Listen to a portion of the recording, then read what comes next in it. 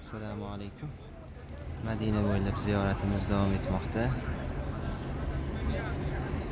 Guruhimiz uhud tog'iga ziyoratda davom etishmoqda.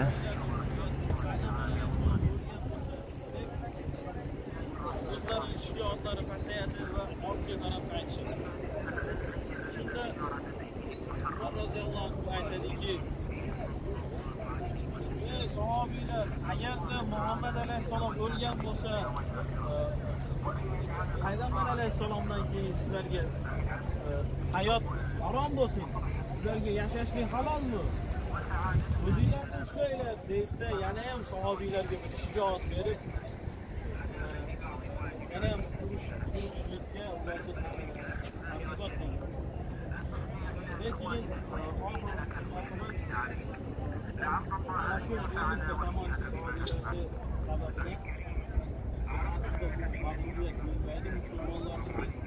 Allah Teala Mers'te Müslümanlar taraflı biri Ramazan'ın özellikle müşrik taraflı Hani şurada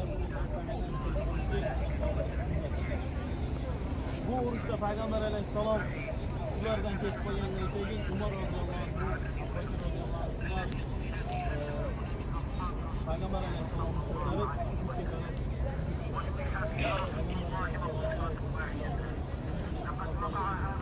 ve bu denge Müslümanlardan 70 kişi zamanında bir Müslümanlardan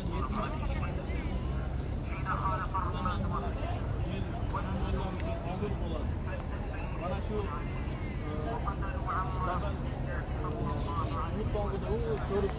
yarata turibdiku ana shu joyga olib kelgan payg'ambar alayhissalom va yetmish kishi bu yerda shahid qilinadi hamza roziyallohu anhuni shu darajada bir